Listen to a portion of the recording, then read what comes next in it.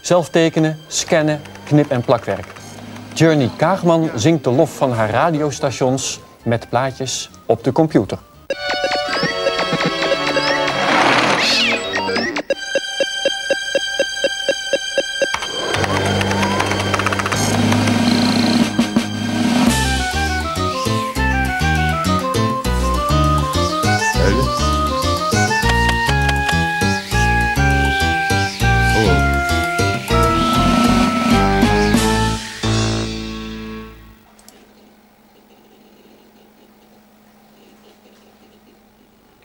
Welkom. Als het over plaatjes gaat, dan is natuurlijk het beeldscherm ontzettend belangrijk. Het is om te beginnen belangrijk voor uw comfort. Gaat u een computer kopen, kijk dan naar die monitor, kijk of het beeld u bevalt. Dat is belangrijker dan getalletjes die de verkoper opdreunt. Hebt u eenmaal een monitor? Gebruik dan de mogelijkheden om hem in te stellen. Bijvoorbeeld met draaiknopjes, helderheid en contrast. In dit geval zelfs met knopjes op het scherm met een eh, minuutje kun je hier wat doen aan de helderheid. En misschien bevalt een nieuwe instelling u wat beter. Er zijn nog andere manieren om het beeld te verbeteren. Bijvoorbeeld in het configuratiescherm. Hier klikken op beeldscherm geeft de mogelijkheid om te sleutelen aan een ander soort instellingen. Bijvoorbeeld het aantal puntjes dat op het scherm wordt weergegeven. Dat kun je veranderen. Ik verander het nu van 800 bij 600 naar 640 bij 480. En het resultaat krijg ik op het scherm te zien. Dat betekent in dit geval dat de iconen groter zijn geworden. Er passen er dan wel minder op het scherm. Het is maar net waar je van houdt. Wat u ook kunt doen is het aantal kleuren regelen dat op uw systeem voorkomt. Wat houdt dat in? Nou, dat kan ik het beste laten zien aan de hand van drie dezelfde foto's met verschillende kleureninstellingen. De foto rechts hier, een wolkenlucht, weergegeven in 16 bits kleur en dan onderscheid je 2 tot de 16e, is 65.000 verschillende kleuren. Prachtige foto. Die daarnaast, die kent 256 verschillende kleuren. Ook nog wel mooi, maar in de buurt van de horizon zie je een soort strepenpatroon, gewoon doordat er niet voldoende verschillende kleuren beschikbaar zijn. Die daarnaast heeft niet 16 bits kleuren, maar 16 kleuren. En het resultaat is een soort abstract schilderij dat niet veel meer met de werkelijkheid te maken heeft. Dan zult u zeggen, ik wil altijd het mooiste. Zou ik afraden, want veel verschillende kleuren onderscheiden kost veel tijd en uw systeem wordt daardoor trager. Kies dus datgene waar u behoefte aan hebt en niet meer. Nooit 16 kleuren, meestal 256 en 16 bits kleur alleen voor semi-professioneel werk. Er is nog een hogere instelling, 24 bits kleur, dat is meer voor professionals. Uw computer heeft ook nog een tekenprogramma, dat heet Paint en daar kun je best aardige dingen mee doen. Ik laat u een paar tekeningen zien die met Paint zijn gemaakt. Bijvoorbeeld deze, deze in een heel andere stijl en deze. En je kunt ook foto's laden en bewerken in Paint. Een foto hebben we hier. En bewerken, dat kan bijvoorbeeld zijn het uitsnijden van een onderdeel uit de ene foto. En dat brengen naar de andere foto. Waarna je met wat knip- en plakwerk ook nog de schade kunt herstellen, zodat het lijkt alsof het allemaal zo hoort. Bitmaps hebben een nadeel. Ze bestaan uit puntjes op het scherm. Er is niks mis mee, behalve als je ze gaat vergroten, want dan worden die puntjes blokjes. Dat kan ik u laten zien. Hier heb je een blokkenpatroon. Er bestaat een andere manier om plaatjes weer te geven. Vectorafbeeldingen die hebben dat nadeel niet. Die bestaan meer uit wiskundige formules. En die blijven scherp. En hoe dat in zijn werk gaat, ziet u in de volgende reportage. Dit is geen eh, schilderij, dit is een eh, computergrafiek. Het is gemaakt naar aanleiding, naar aanleiding van een foto. Die foto is in de computer gevectoriseerd. Dat wil zeggen, er zijn allemaal lijntjes van gemaakt, van alle kleurscheidingen en alle verschillende tinten die erin zitten. Dan komen er een heleboel lijntjes op als je dat doet. En dan heb ik een aantal lijnen heb ik weggehaald. En ik heb bepaalde vlakken heb ik anders ingekleurd dan de computer het automatisch heeft gedaan. Dit is een andere computergrafiek. Dus ook naar aanleiding van een foto, maar dan van eh, bosjes. Eh, ook gevectoriseerd. Alleen is dit plaatje dan in eh, zwart-wit gemaakt. Gedrukt op ehm, stroozijde, dat is een soort papier waar veel hout in zit. Op een gewone laserprinter, zoals ook op kantoor gebruikt wordt. En eh, waar ik nu mee bezig ben, dat is zeg maar de combinatie van vectorwerk, maar dan met de hand. Ook naar aanleiding van foto's is dit getekend, dit meisje. En dat is dan geprojecteerd in een eh, foto van het uh, Belangsstation in Rotterdam. Dan moet ik hier het fotootje van Sandra, die danseres, opzoeken. En hier hebben we hem gevonden. Dit is het plaatje wat we straks gaan gebruiken, wat uh, gevectoriseerd gaat worden. Dat moet alleen gaan exporteren, want het is zo niet in te lezen in het andere programma. Ik ga het inlezen in het bitmap-programma, omdat het niet... Uh, het moet eerst bewerkt worden voordat het uh, gebruikt kan worden in het, in het programma om het te gaan vectoriseren. Kan ik nu erin gaan halen, het plaatje. Hier kunnen we zien, het is dezelfde foto, heel klein. Nu komt ze er groot in. Even ietsje groter maken. Met dit programma kan je een heleboel dingen doen. Het is een bitmap bewerkingsprogramma, echt om een digitale donkere kamer. En uh, ik zal wat verschillende dingetjes laten zien. En hier is er een van zo'n bewerking. Nogal een sensationele. Met de preview kunnen we zien wat het wordt. In het klein, nu laat het in het groot zien. Dus zijn nogal heftige kleuren. Dat kunnen we weer ongedaan maken. Dat we weer de gewone foto hebben. En dan kan ik er nog één uh, laten zien. Er zit er een heleboel in. Ik laat er maar een paar zien. Hele vreemde vormen. Wij moeten er iets heel anders mee doen. We moeten de foto geschikt maken om uh, te gaan vectoriseren straks. En daarvoor hebben we eigenlijk maar een hele lichte foto nodig. Omdat we anders niet goed kunnen zien waar we tekenen.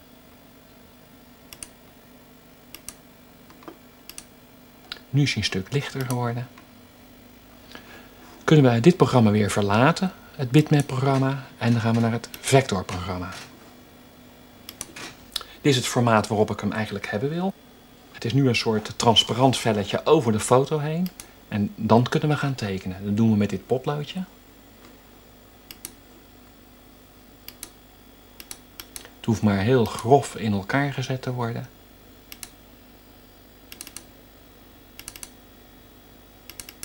En zo maken we heel globaal, trekken we overal langs.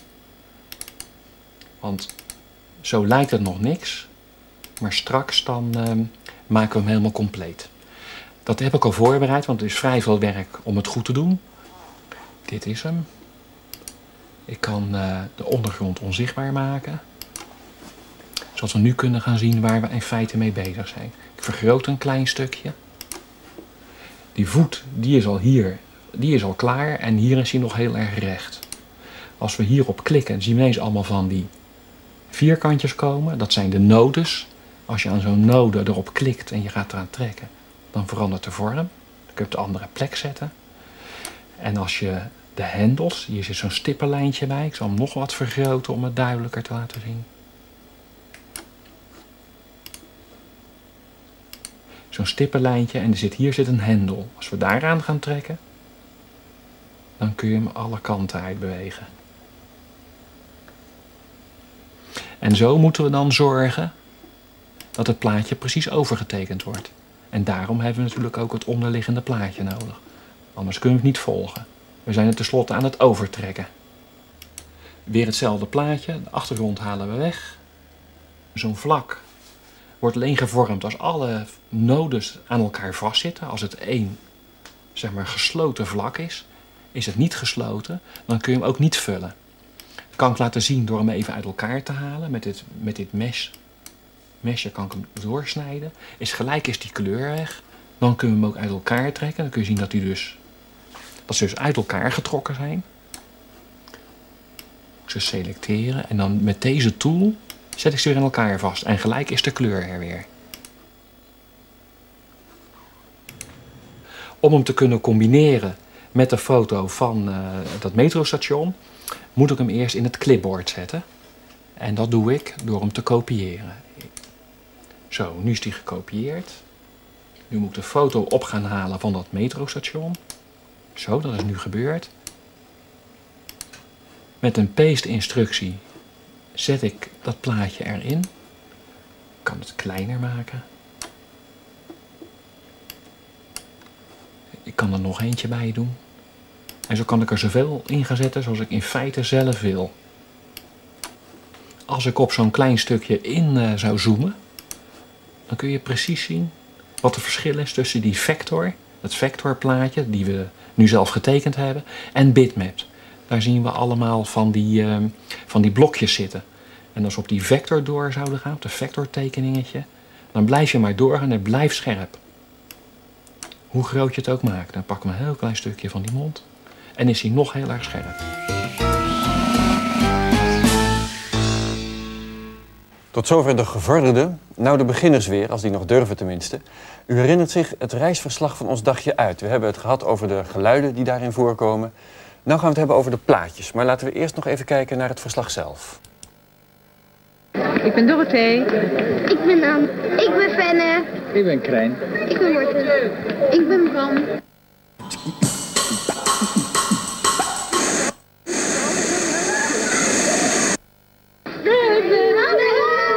Voeten halen, jongens.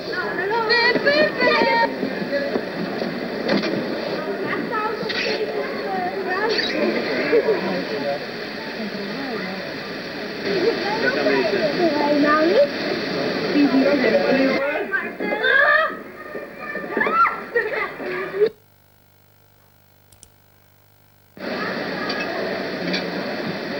Dit zijn je speels. Ja.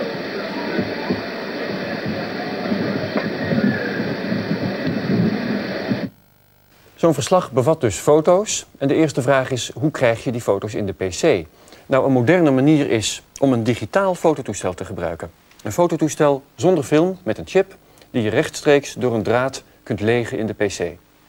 Maar het is beter voor uw portemonnee en voor de beeldkwaliteit om een scanner te gebruiken met gewone foto's. Hoe zo'n scanner werkt, hoe je hem aansluit, hoe je hem gebruikt, dat verschilt per scanner, dus dat moet ik aan u zelf overlaten. Maar ik zal het voor deze even demonstreren. Er zit een knop op, druk ik daarop, dan start automatisch de inleessoftware.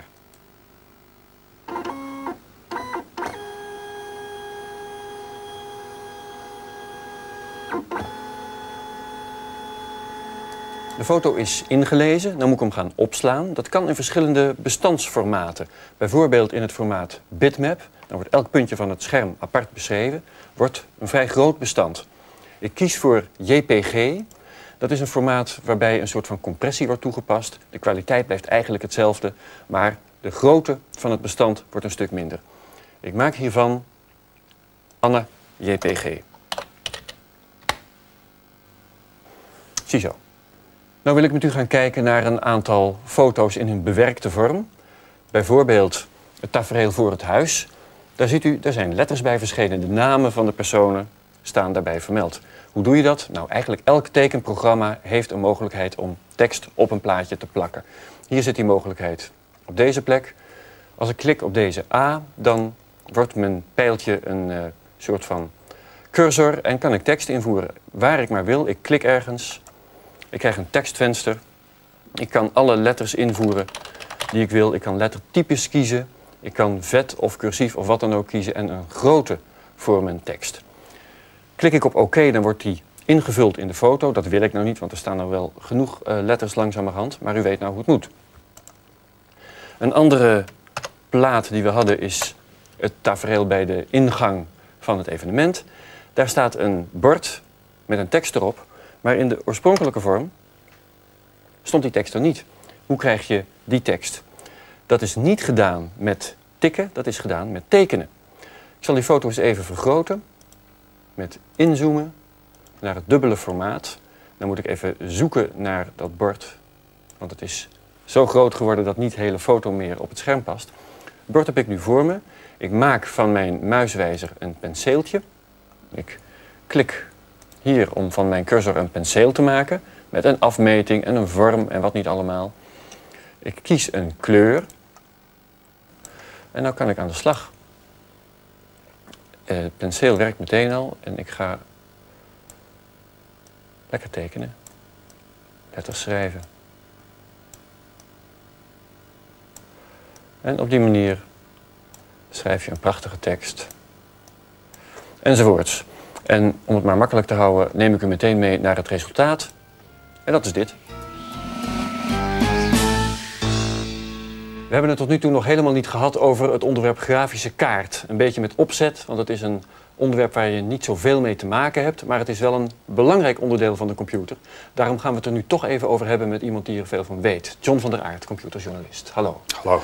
Wat is een grafische kaart? Een grafische kaart is de verbinding tussen de computer en het beeldscherm. Eh, in een computer zitten nulletjes en eentjes. Een beeldscherm is eh, gewoon een mooi plaatje.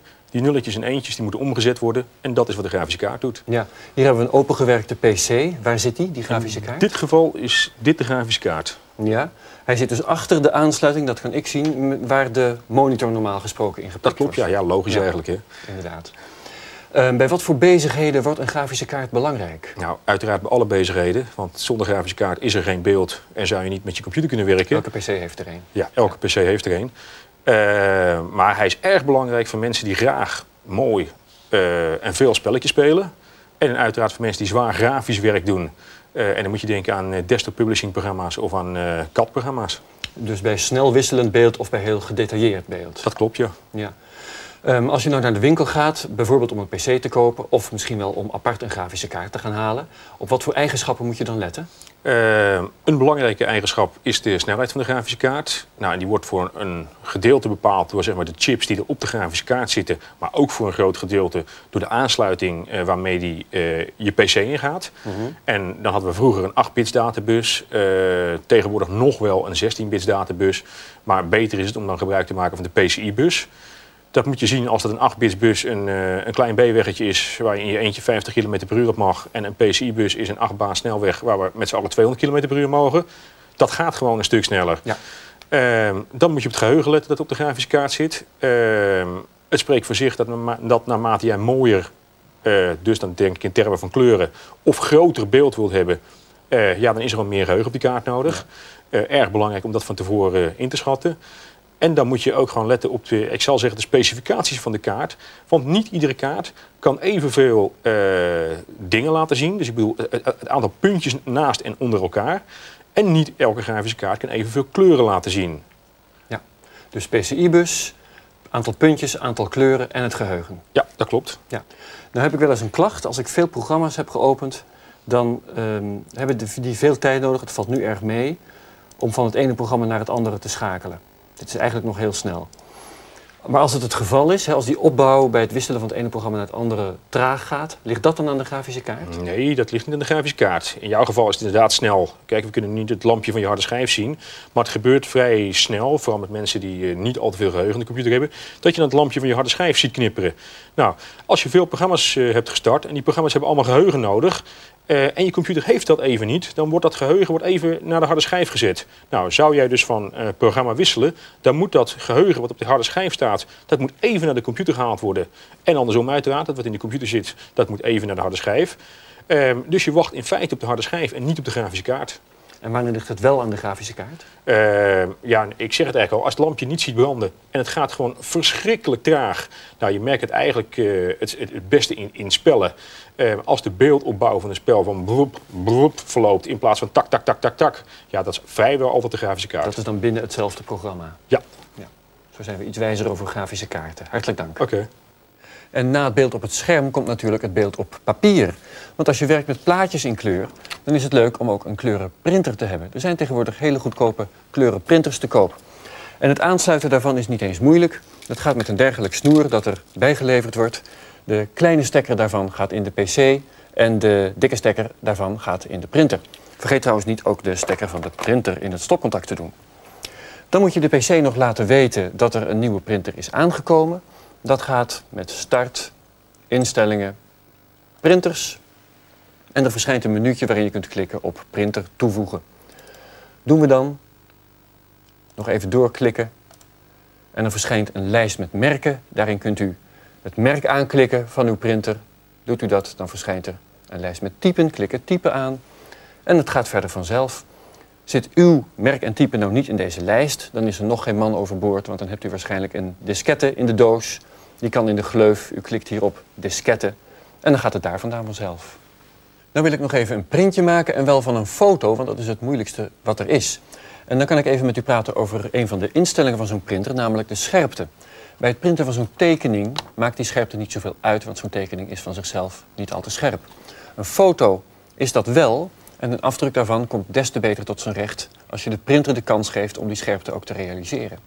Daarvoor moet ik even wezen in de instellingen van zo'n printer. Die vind ik door in dit menu rechts te klikken op het symbool van mijn printer. Ik ga naar de eigenschappen en vind dan een venster waarin ik kan graven. En hier zijn dan de instellingen voor het oplossend vermogen, noemen ze dat, uitgedrukt in stipjes, dots per inch. Ik kan kiezen uit drie varianten, een lage, een middelste en een hoge. Dan zult u zeggen, doe de hoge maar, dat is vast het mooiste. Ja, dat is wel zo, maar dan is die printer heel lang bezig, want die moet al die puntjes apart gaan maken. Dus ik kies voor de middelste, die is mij mooi genoeg en dan hoef ik niet al te lang te wachten. Daar gaat hij.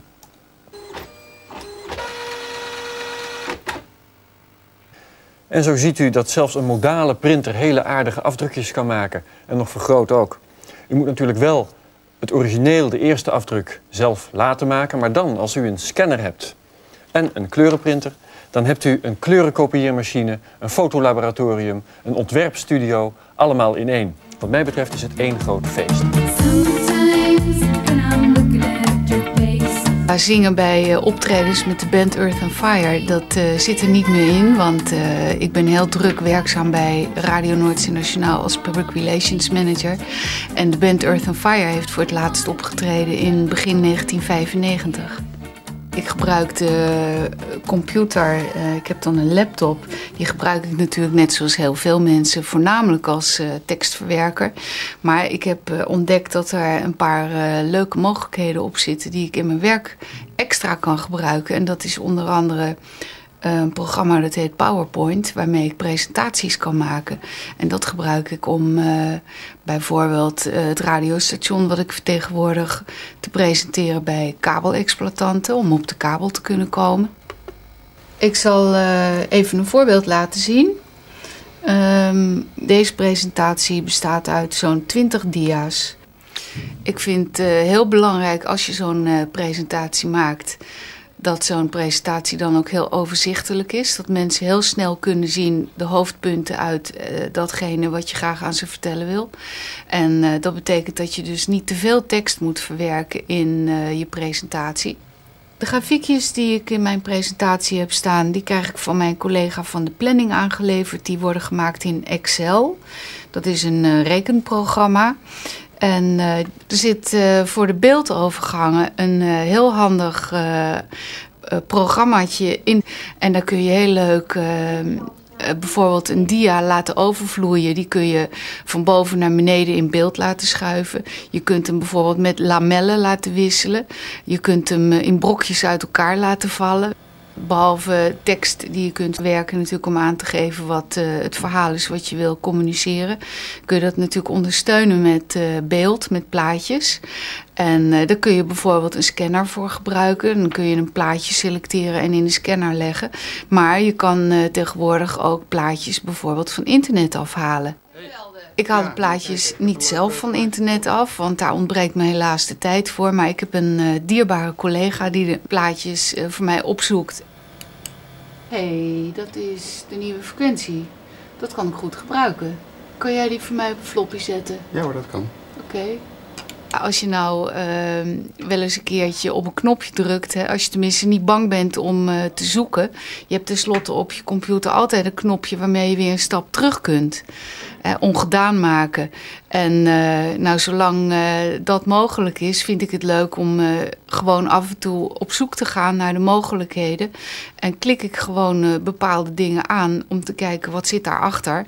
En ja, al zoekend kom je dan achter allerlei mogelijkheden die je dan weer heel verrassend kunt gebruiken in de werkzaamheden voor de presentatie bijvoorbeeld. Nou, daar wil ik het bij laten voor deze uitzending. Ik zie u volgende week terug. Dan gaat het beeld bewegen.